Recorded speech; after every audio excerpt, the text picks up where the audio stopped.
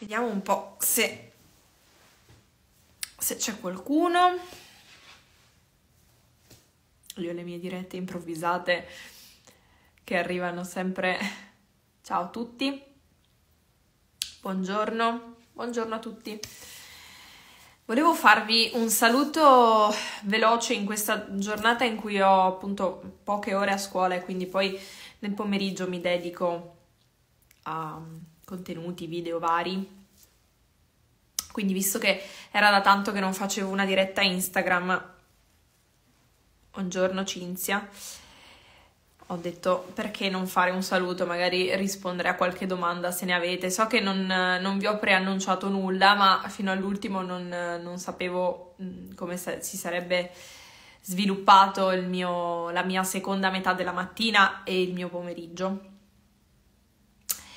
Um, ho visto, mi avete segnalato in tanti che l'applicazione NoiPa non funziona, però da sito eh, vi posso assicurare che, che, si apre, c'è stata un, um, una manutenzione di recente e quindi penso che sia questo il motivo per cui da, appunto da, da cellulare ancora non funziona bene. Stanno per essere pubblicati anche gli importi degli stipendi di febbraio quindi adesso cercheremo anche di, cercherò anche di darvi delle notizie rispetto a questo. Ehm, allora, Bianca Elena mi fa la prima domanda dice: Buongiorno, quest'anno si può partecipare ancora come ITP eh, sia al concorso sia alle graduatorie? Allora, eh, Bianca Elena, ti dico per il concorso assolutamente sì eh, entro il 31 dicembre 2024 gli ITP possono ancora partecipare con il solo diploma.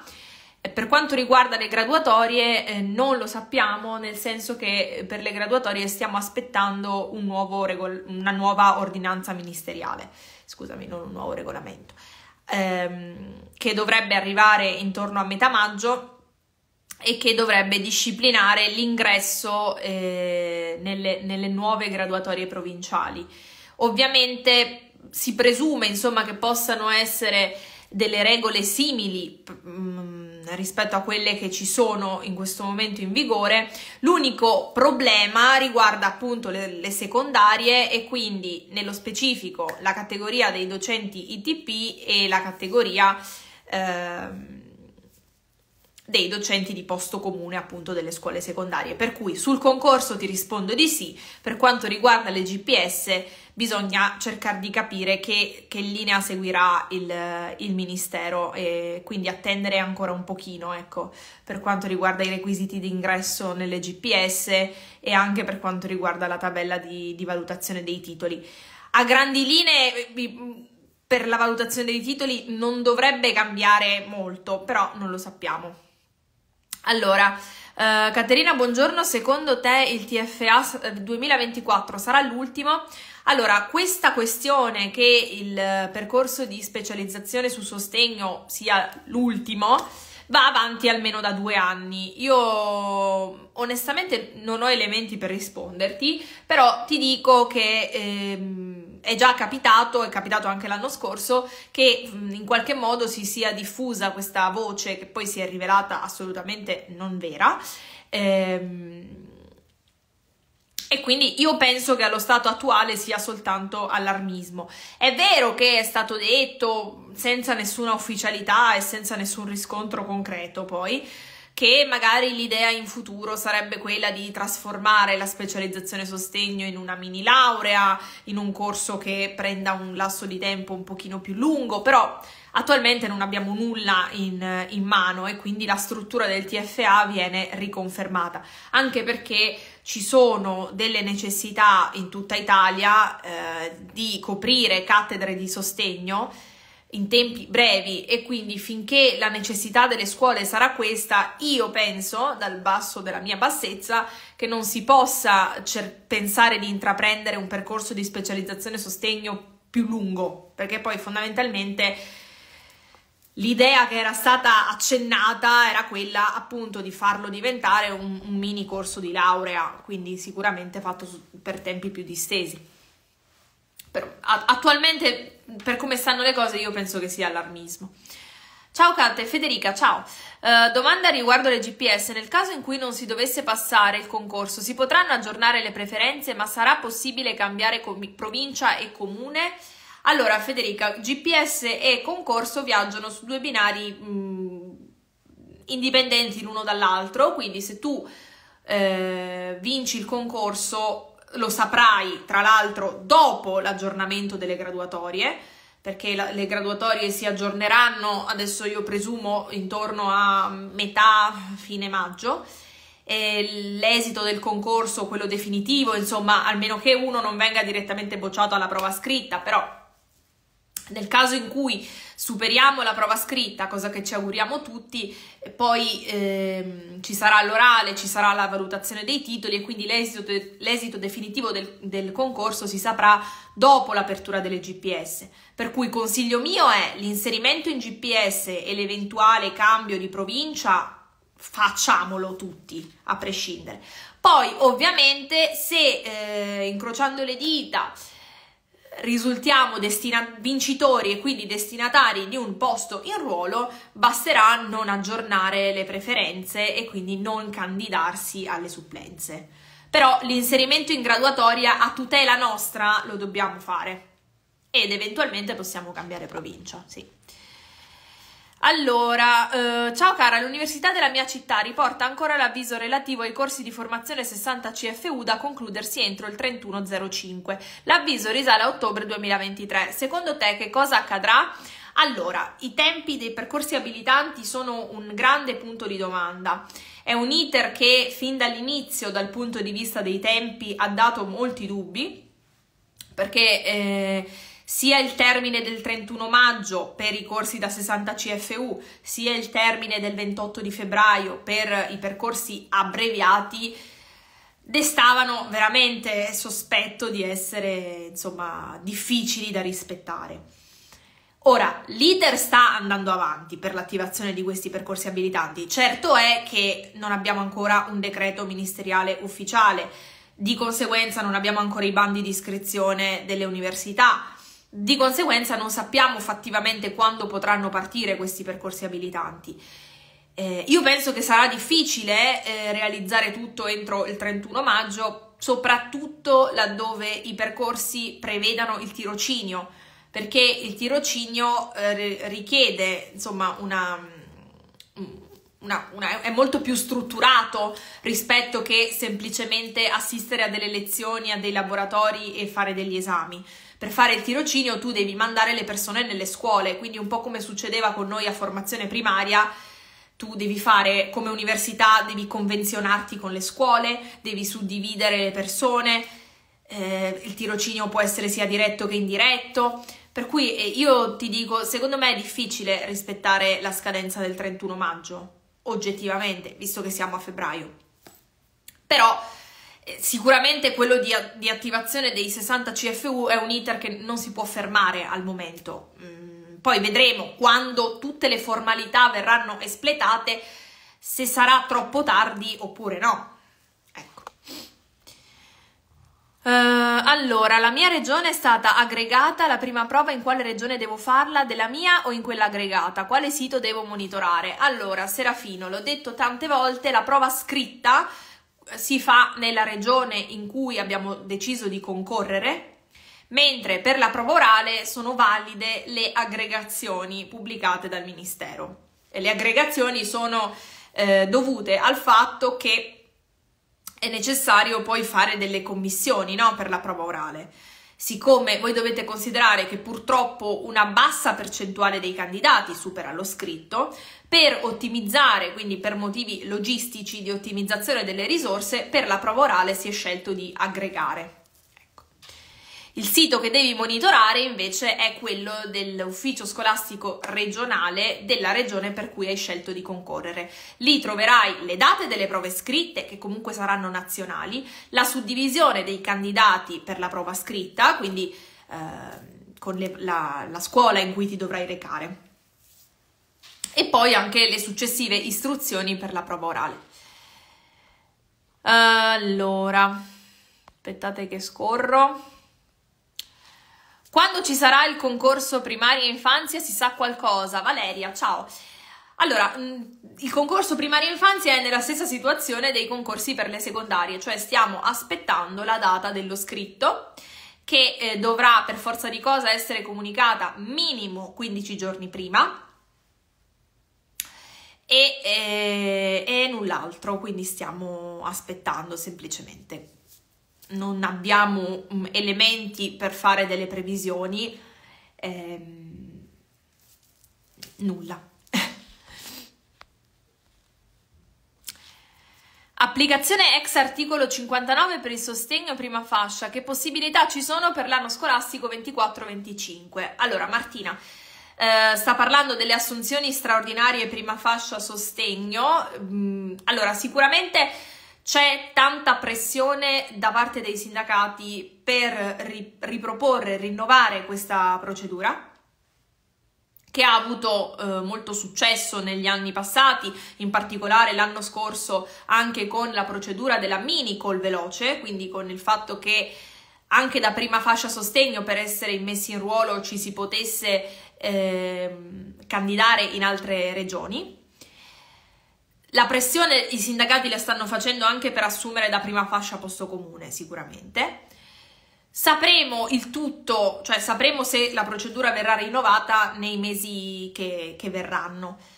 Sicuramente ci sono, io direi, le stesse probabilità degli anni scorsi, nel senso che la situazione per quanto riguarda il sostegno in determinate regioni d'Italia continua ad essere eh, critica continua ad esserci necessità di assunzioni sostegno, quindi la possibilità secondo me eh, rimane tale rispetto agli scorsi anni. È chiaro che in alcune regioni, in alcune province, assumere il ruolo da prima fascia sostegno non sarà possibile perché non sarà necessario, mentre in altre regioni è ancora un imperativo. Poi quel che deciderà di fare il Ministero, io, io e voi non lo possiamo sapere al momento, però Mm, le condizioni, ecco, le necessità e le condizioni della scuola non sono cambiate eh, assolutamente. Poi ci sarà a maggio l'inserimento in GPS, sì, inserimenti e nuovi aggiornamenti.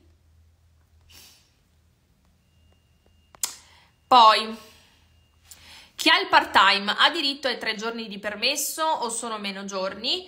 Eh, no, chi ha il part-time ha sempre diritto ai tre giorni di permesso retribuito a condizione che abbia o un contratto al 30 giugno o al 31 agosto o a tempo indeterminato.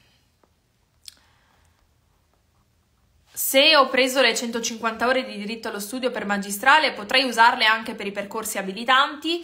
Uh, Word Martina no, perché purtroppo, uh, visto che hai preso le 150 ore, lo sai, quando si richiedono e si ottengono le ore di diritto allo studio, uh, la richiesta e l'ottenimento è sempre in funzione ad uno specifico percorso universitario che si sta seguendo. Quindi non, questo non può cambiare, cioè se tu hai preso le tue 150 ore perché in quel momento eri eh, studente di corso di laurea magistrale, poi magari nel frattempo il corso di laurea è finito e hai, mh, ti sono residuate alcune ore, tu non puoi in autonomia arrogarti il diritto di dire vabbè adesso le prendo e le uso per i percorsi abilitanti. Questo non si può fare, bisogna fare una nuova richiesta in funzione del nuovo percorso universitario che tu stai che, che starai facendo, ecco, perché i percorsi abilitanti non sono ancora partiti. Allora, ma dove vedo se la mia regione è stata aggregata? Sono state pubblicate le aggregazioni per la prova orale de- dei concorsi scuola. Le, mh, trovi il decreto ministeriale sul sito del, del MIM. Poi, chi si laurea a giugno in formazione primaria riuscirà ad inserirsi nelle GPS 2024 prima fascia? Allora, come sempre, quando aprono le graduatorie si dà un periodo di riserva, cosa che per esempio non, non è successa per il concorso. Cioè, eh, si dice il lasso di tempo per iscriversi è questo, generalmente un paio di settimane, una quindicina, ventina di giorni, in questo lasso di tempo tu ti puoi iscrivere anche se prevedi di eh, laurearti, per esempio, entro il 30 giugno, no? Soli- per esempio l'anno scorso è stato dato questo come termine, il 30 giugno. E poi il candidato che riesce a laurearsi entro quel termine scioglie la riserva positivamente. Se invece poi per qualsiasi motivo non, non ci riesce, insomma, l'iscrizione dalle GPS decade. Questo è eh, come funzionava fino agli anni scorsi. Non vedo motivo per cui non dovrebbero concedere la stessa cosa ehm, quest'anno.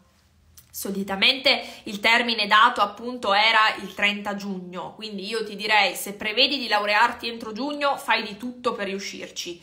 Se la tua previsione è luglio, come me per esempio io mi sono laureata ai primi di luglio, eh, è un po' una fregatura, nel senso che potresti non, non rientrare nel, nella riserva.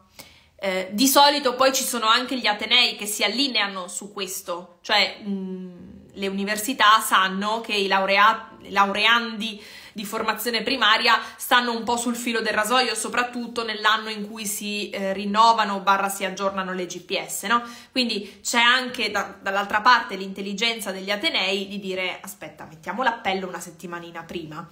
No, io per esempio mi sono laureata nel 2023, che era l'anno di mezzo, eh, eh, però sì, insomma, in linea di massima questo è quello che posso dirti fino a questo momento. Allora, ciao Kate, ciao Marco. Non mi è molto chiaro come si svolgerà la fase transitoria. Il tesoretto dei 24 CFU rimarrà per il riconoscimento sconto al percorso da 60 CFU? Sì. Um, assolutamente sì. Diciamo che la fase transitoria si definisce transitoria perché stiamo passando dal vecchio reclutamento al nuovo. Parlo sempre delle secondarie, eh, per primaria infanzia non cambia nulla. E viene data nello specifico fino al 31 dicembre 2024 la possibilità a chi è in possesso dei vecchi titoli validi, quindi in questo caso i famigerati 24 CFU, di eh, partecipare ancora ai concorsi, sempre entro il 31 dicembre 2024, e poi di eh, integrare con il percorso che porterà alla nuova abilitazione, quindi a quella da 60 CFU. Nel tuo caso, se hai 24 CFU conseguiti entro il 31 ottobre 2022, potrai richiederne eh, il riconoscimento eh, e quindi di fatto conseguirne solo i 36 che, che mancano. Allora, mm, punteggio derivante dal concorso in GPS, Sonia Cannas ha parlato di tre punti, sei idonei iscritte orale, per il concorso di ottobre non so.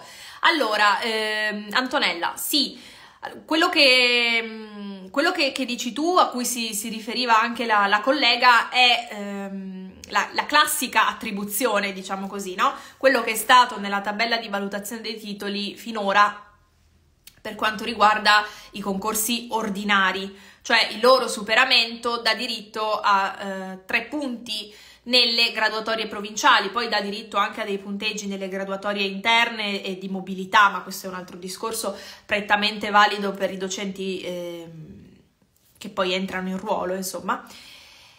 Dovrebbe essere così anche questa volta perché eh, appunto sono dei concorsi ordinari dobbiamo sempre aspettare la tabella di valutazione dei titoli delle nuove, delle nuove GPS.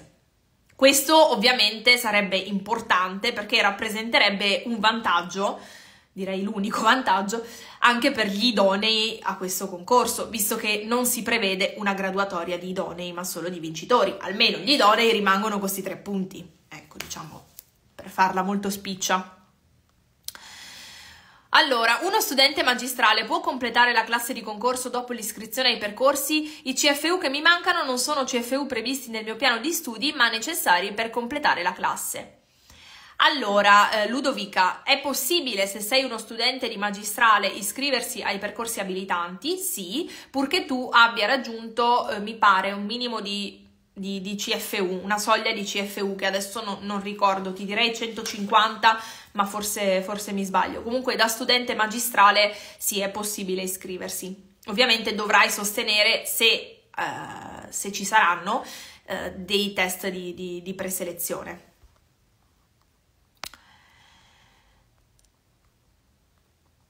Allora, se i percorsi abilitanti, mi dice Mary, eh, si fanno nella regione di residenza, ma poi per le GPS necessariamente non ci si può inserire in quella regione, è un problema. Dovrei scegliere di non farli o di non lavorare.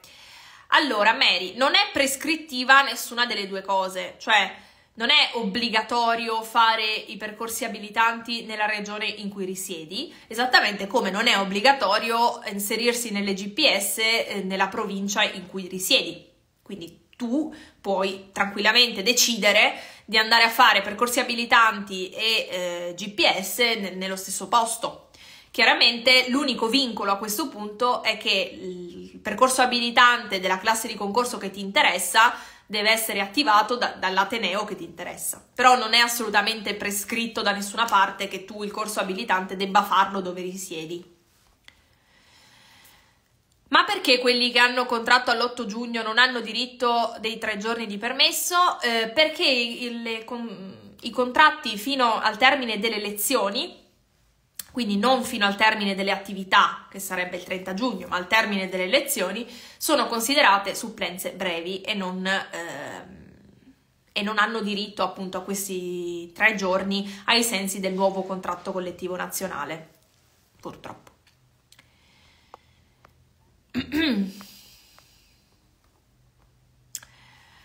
Ci sono novità sulle assunzioni prima fascia sostegno articolo 59, Caterina ho risposto prima, poi ovviamente questa, questa live verrà salvata. Kate, non so se puoi aiutarmi, io ora sono nell'anno di prova, ma siccome ho marito nell'esercito, posso chiedere il trasferimento? Come funziona? Grazie. Allora, se sei, assolutamente sì, se sei moglie di militare arruolato, insomma, c'è tutta una casistica specifica, comunque quindi sei soggetta a eh, frequenti trasferimenti, rientri in una delle categorie eh, protette, insomma che può chiedere assegnazione provvisoria in, un, uh, in un'altra scuola. Significa che la tua scuola di titolarità rimane sempre quella in cui hai eh, ottenuto il ruolo, ma almeno per un anno potrai appunto ottenere un'altra sede.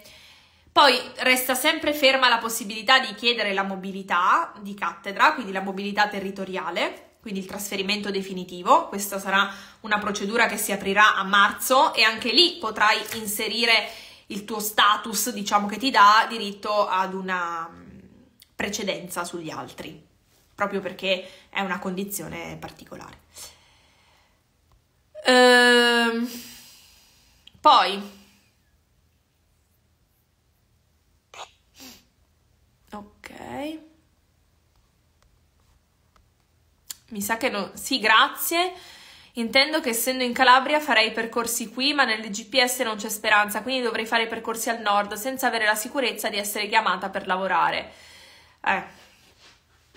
Questo è un altro, è un altro, è un altro grande tema, ma proprio grande. Ah no, perché in anno di prova, giusto, non potrà chiedere mobilità. Eh, infatti avevo detto... Eh, mi allora, diciamo che c'è un, un grande, eh, in questi giorni, un grande dibattito che riguarda la mobilità e i trasferimenti, perché l'anno scorso è stata concessa la mobilità anche a chi era in anno di prova. È successo l'anno scorso e non succederà quest'anno, purtroppo.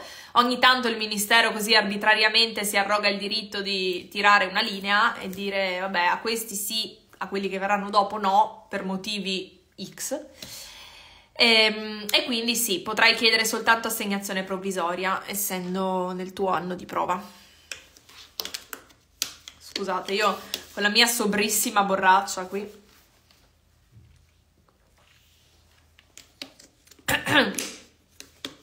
Aiuto. Allora, mi sono persa qualche domanda nel frattempo. Devi aspettare, devi aspettare, che si aprano i termini per, uh, per, la richiesta di assegnazione provvisoria. Poi ovviamente ci sarà tutta la formalità relativa al superamento dell'anno di prova che è, ovviamente è un requisito fondamentale, nel senso che se non superi l'anno di prova poi quella domanda decade.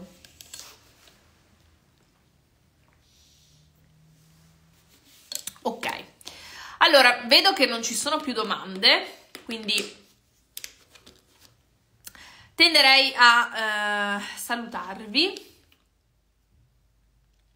Questa diretta la salverò su, sul canale YouTube, quindi la troverete lì nel caso in cui riteneste utile e opportuno um, riguardarvela.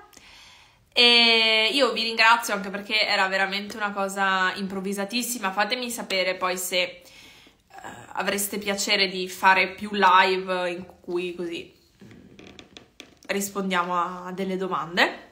Anche perché io riesco veramente poco a rispondere ai messaggi in questo periodo. Per cui può diventare un utile modo per voi di avere risposte immediate e per me di non avere la, la, pressione dei messaggi a cui non riesco a stare dietro. Quindi io vi saluto, tempo una decina di minuti trovate questa diretta nel canale YouTube a cui vi invito ad iscrivervi se vi va. Ciao!